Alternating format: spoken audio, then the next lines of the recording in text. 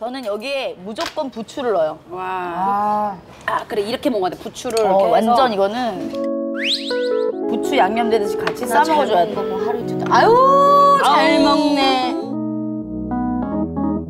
아, 너무 맛있겠다.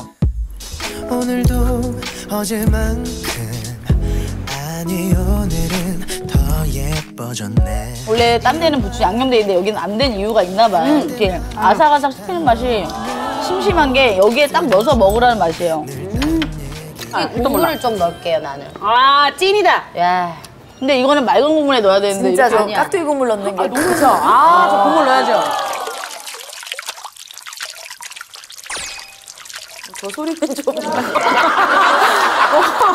약간 저거는 깍두기. 제가 잠깐만 좀. 아이 다 내가 볼 때는 이거는 제작진의 투머치야 오디오를 그렇게 지나치게 넓히려고 있었나 너무 과하지 않았나. 야저 정도 또라는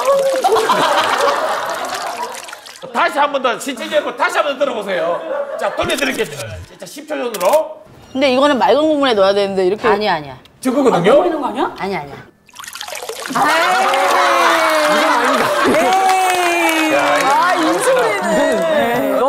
너무 힘드셨어 너무. 이거는 연말에 오게티에 100% 나와요.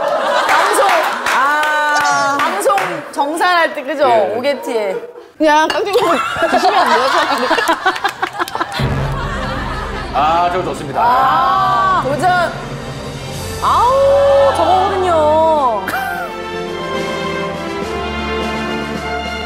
저희는 누가 시키지도 않았는데 다 아, 저렇게 먹은 거예요. 너무 배고파서.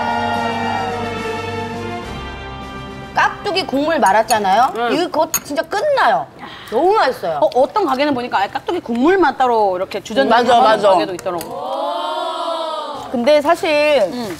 여기서 이제 자기 스타일을 하나씩 좀 골라야 될 것 같아요. 왜냐면 이게 순대국밥 먹을 때는 뚝배기 세워가지고 먹는 게 또 제맛이거든요. 맞아 맞아 자기 거 자기 거 어. 하나씩. 그래서 우리가 지금 다 양념 봤으면 이제 내 스타일이다 하는 거는 하나씩 들고 가서 그러면은 우리 여기다가 나는 깍두기 국물 넣는 거 추천. 제가 한번 그렇게 해서 먹어보겠습니다, 오케이. 매님. 가져가 자, 볼게요. 앞쪽으로 자기 앞쪽으로. 자, 앞쪽으로 해서 자 이거 매운 거. 어, 드디어 이제 먹는 것처럼 먹겠네요. 이제. 자, 세워줍니다. 저는 깍두기 국물 아까 어떤 이번엔 어떤 수련 할까요? 자.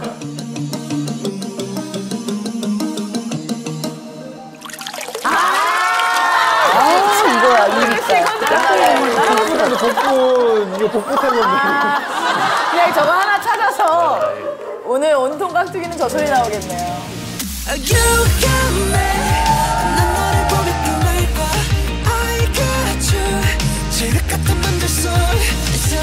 아우 저거거든요.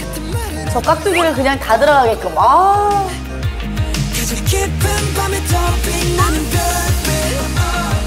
드실 때 양손을 다 활용하시네 이게 같이 올라가고 젓가락 안 놓잖아요. 역시 세워서 먹어야 돼.